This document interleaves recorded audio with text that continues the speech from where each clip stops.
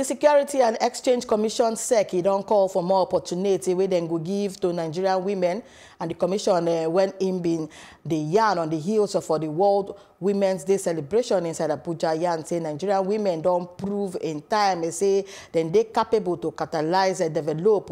Our correspondent Amadine Uyi, he get the report. Every year is an opportunity to mark the World Women's Day.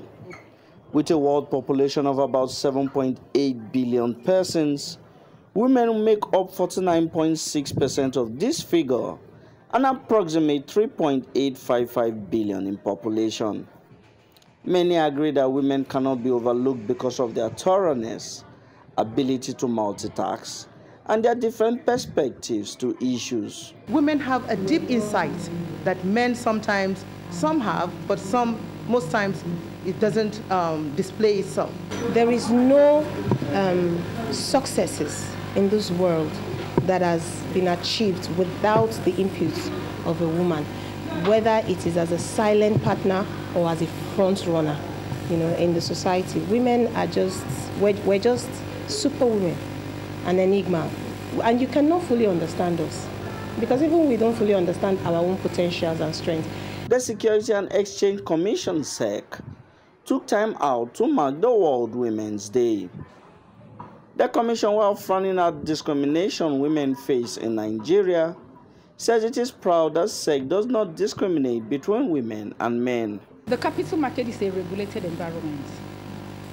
And not just regulated, but is a professional environment. It does not matter who you are, whether you are a man or a woman, as long as you are able to meet the requirements of being able to work in the capital market. In any aspect of the capital market, you are able to work.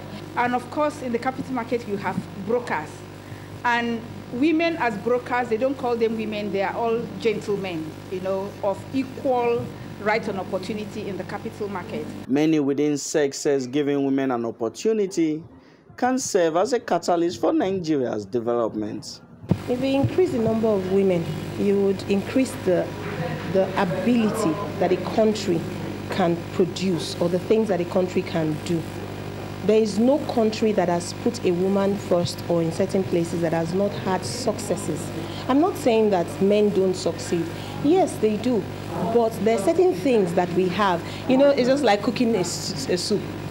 You just cook soup and you don't put maggi or you don't put salt or you don't put some certain spices. You won't get the benefit of that food. If you have a woman and you, she's giving you her own uh, perspective of things, of issues. You pay attention, you listen.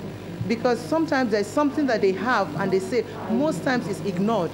But if you pay attention, you will listen, you will find that you will get results. While the event also included a health talk on how women can maintain the best of their health and operate at peak performance, some in attendance took time out to leave a word for Nigerian women. My shout out to Nigerian women is to continue to um, support each other. You know, let's join hands and work together as Nigerian women to lift ourselves up, you know, to work together and um, also lift up the younger ones. From Abuja, Amadine Uyi, Plus TV Africa.